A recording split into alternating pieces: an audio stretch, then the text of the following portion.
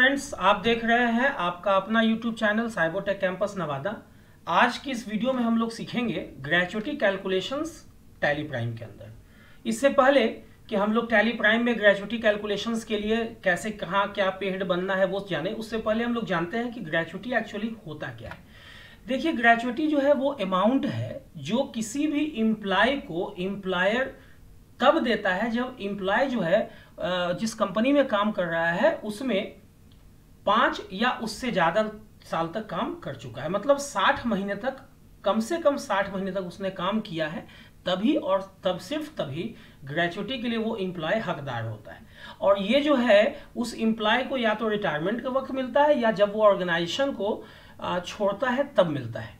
इसके लिए जो नियम है, वो है पेमेंट ऑफ़ ग्रेचुटी एक्ट उन्नीस सौ बहत्तर।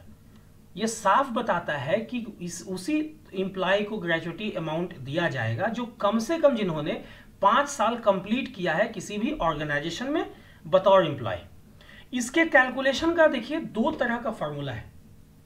अगर अगर जो है इम्प्लॉय अंडर द एक्ट है तो उस केस में जितने साल तक काम किया है number of years into basic plus DA into 15 जहाँ 15 जो है ना वो आ, महीने का वो 15 दिन है जो ग्रेचुटी पीरियड होता है अप्लाई होगा बाई 26 ठीक है?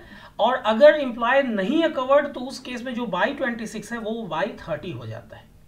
बस ये छोटा सा एक नियम है। ठीक है? नंबर ऑफ़ ईयर्स यहाँ पे अब जितना साल पुराना होगा ग्रेचुटी का अमाउंट उतना बढ़ता चला जाएगा। तो इसको कैसे हम लोग करेंगे टैली प्राइम के अंदर आइए देखते हैं।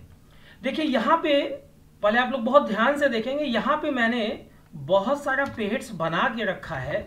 मैं आप लोगों को दिखाना चाहता हूँ, यहाँ पे मैंने पेहेट्स बनाया है। जैसे मैंने बेसिक बनाया है डीए बनाया है एचआरए भी बना लिया है, और ई e वगैरह का भी सारा सिस्टम है। अभी सैलरी भी मैंने डिफाइन कर लिया है। देखो, यहाँ पे फरदीन अख्तर की सैलरी है। उसी तरह से अभी इसमें इसमें जो है, सोहन की भी सैलरी है।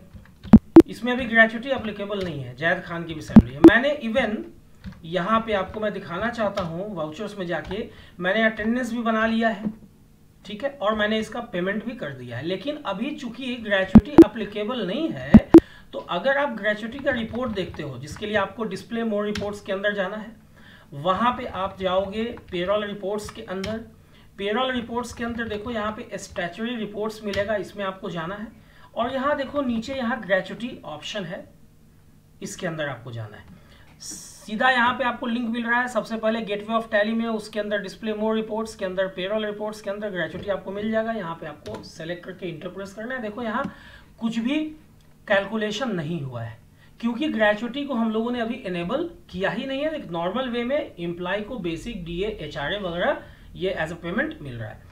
तो सबसे पहले हम लोग जानते हैं कि कैसे ग्रेचुटी पेहेड हम लोग बनाएँगे। ग्रेचुटी पेहेड बनाने के लिए हम लोगों को जाना है क्रिएट में और यहाँ पे पेहेड्स ऑप्शन को सेलेक्ट करके इंटरप्रेस करना है।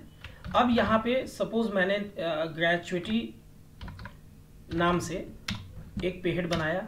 देखिए, इसके लिए लिस्ट ऑफ़ पेहेड्स में यहाँ देखो ग्रेचुटी नाम का एक ऑप्शन ही अलग से अवेलेबल है। इसको इस ऑप्शन को आपको सेलेक्ट कर लेना है। अभी यहाँ पे gratuity days of a month पूछ रहा है। यहाँ बहुत ध्यान देने वाली बात है देखो। आ, दो तरह के नियम है। एक नियम कहता है कि अगर अंडर द एक्ट कवर्ड है तो बाई ट्वेंटी सिक्स होगा और एक नियम कहता है कि अगर कवर्ड नहीं है तो थर्टी होगा। तो मैं कवर्ड के लिए ही लेके चल रहा हूँ तो यहाँ पे मैं ट्वेंटी सिक्स डालता हूँ। अगर आपके केस में इंप्लॉय कवर्ड नहीं है लेकिन अगर उसके बावजूद वो आ, एलिजिबल है ग्रेचुटी के लिए तो जहाँ पे मैंने 26 दिया है, वहाँ पे आपको 30 डाल देना है। अभी यहाँ 26 मैंने डाल दिया। लेकिन ध्यान रहे, कम से कम पाँच साल पुराना होना चाहिए। इसका मतलब है वन टू सिक्सटी जो है एलिजिबल डेज़ फॉर ग्रेचुटी बिल्कुल भी नहीं है ज़ीरो है। जबकि सिक्सटी वन से वन ट्वेंटी ये फिफ्टीन डेज़ है। देखो, यहाँ पे मैंने फॉर्मूला में बताया है, ये फिफ्टीन डेज़ ये फिफ्टीन डेज़ जो होता है ना, वो ग्रेचुटी के लिए कैलकुलेशन का पीरियड है। उसी ढंग से 121 से ज़्यादा महीने अगर पुराना है तो उसके लिए भी 15 दिन ही है। ये सेट कर लेने के बाद अंडर करंट लाइबिलिटी चली जाएगी, चूँकि ऑर्गेनाइजेशन के लिए ग्रेचुटी जो है, वो लाइबिलिटी है, वो तो पे करना ही है एम्प्लॉय को। अब यहाँ पे, अभी एक ऑप्शन आ रहा है set oblique alter income tax details फ़िलहाल हम लोग इसको नो रखते हैं। जब इनकम टैक्स के बारे में हम लोग बताएँगे तो जानेंगे कि इसका, इस पर क्या इफ़ेक्ट पड़ता है। फ़िलहाल इसको नो रखना है, यहाँ से हम लोग इसे एक्सेप्ट कर लेते हैं। ओके लेकिन अब आपको अल्टर में आना। अब जो है देखो यहाँ पे मैंने साफ़ बताया है कि कैलकुलेशन में बेसिक और डीए ये दो पेहेड्स का इस्तेमाल होता है ग्रेचुटी कैलकुलेशन के लिए। तो आपको इन दो पेहेड्स को जो आपने ऑलरेडी बना के रखा है उसको अल्टर करना होगा। अगर आपने नहीं बनाया है तो आप क्रिएट के समय में आ, फ्रेश क्रिएट कर लेना। कैसे? यहाँ पे मैं बता रहा हूँ मैं अल्टर करके आप लोगों को बता दे रहा हूँ। यहाँ पेहेड्स में मैं गया। देखो बेसिक मैंने सेलेक्ट किया। अगर आप आप नए सिरे से बनाओगे तो आप यहाँ पे बेसिक टाइप करना। ये अंडर अर्निंग फॉर एम्प्लॉयज़ है फिक्स्ड है इनडायरेक्ट एक्सपेंसेस है। यहाँ पे देखो, एक छोटा सा ऑप्शन है use for calculation of gratuity ये डिफ़ॉल्ट नो होता है, इसको आपको यस कर लेना है। ठीक है?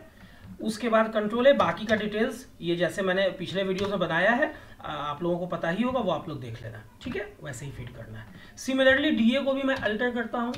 डीए के लिए भी use for income for calculation of gratuity ये नो है, इसको हम लोग क्या कर लेते हैं? यस yes कर लेते हैं। बाकी जो जैसे पिछले वीडियो में मैंने बताया था, उम्मीद करता हूँ आप लोगों ने देखा होगा, वैसे ही आप लोगों को कर लेना है। ओके अब बात आती है कि कैसे आप सैलरी डिफाइन करोगे? क्योंकि देखो, अभी तक जो मैंने सैलरी डिफाइन किया मैं दिखाता हूँ, उसमें ग्रेचुटी का कोई इन्वॉल्वमेंट था नहीं। लेकिन एक चीज़ फिर है कि आपको सैलरी डिफाइन जब करनी है तो वैसे ही इंप्लॉय में इसको एक्टिवेट करना है जो कम से कम पाँच साल पुराना हो। तो मैं ये मान के चल रहा हूँ कि मेरे यहाँ जो भी इंप्लॉय है, वो सारे के सारे पाँच साल से ऊपर ही उन्होंने काम किया है। ओके? तो मैं अल्टर में जाता हूँ, यहाँ से डिफाइन सैलरी ऑप्शन को सेलेक्ट करके इंटरप्रेस करता हूँ। पहला इंप्लॉय मेरा है फरदीन अख्तर। इसको मैंने सेलेक्ट किया, जिसमें मैंने ऑलरेडी यहाँ बेसिक पचपन और डी एच आर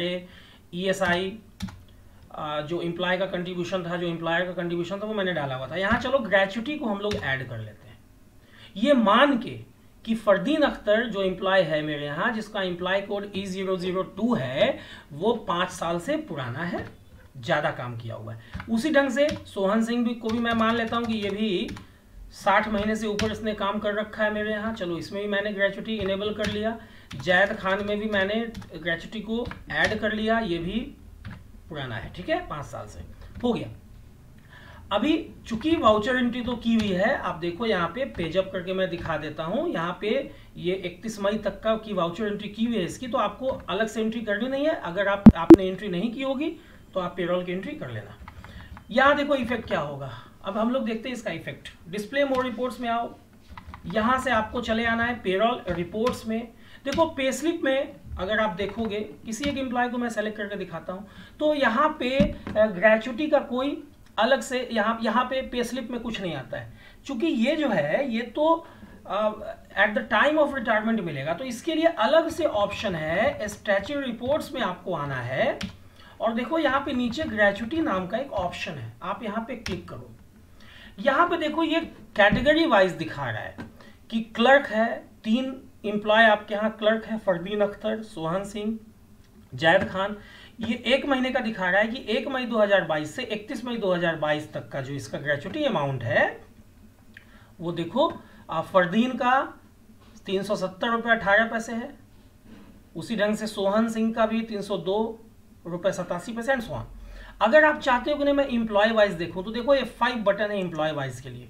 आप उस पर क्लिक करो, देखो यहाँ पे ये इंप्लॉय वाइज दिख रहा है, लेकिन यहाँ पे डेट क्या है? एक मई से इकतीस मई।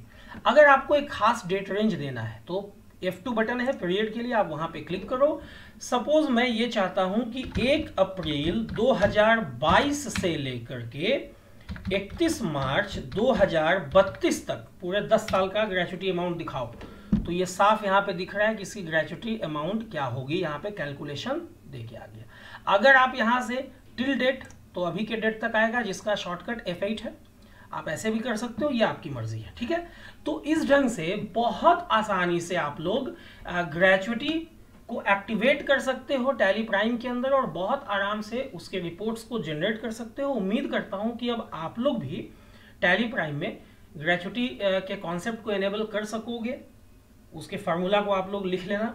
उम्मीद करता हूँ वीडियो आप लोगों को पसंद आई होगी। अगर वीडियो पसंद आई हो तो वीडियो को लाइक, शेयर करना ना भूलें।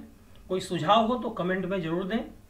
कोई टॉपिक वैसा टैली से रिलेटेड हो जिसका वीडियो चाहिए तो कमेंट में लिखें ताकि उस टॉपिक पे मैं वीडियो बना सकूँ। वीडियो के लास्ट तक बने रहने के लिए आप लोगों का बहुत बहुत धन्यवाद। शुक्रिया। थैंक्स। Thanks a lot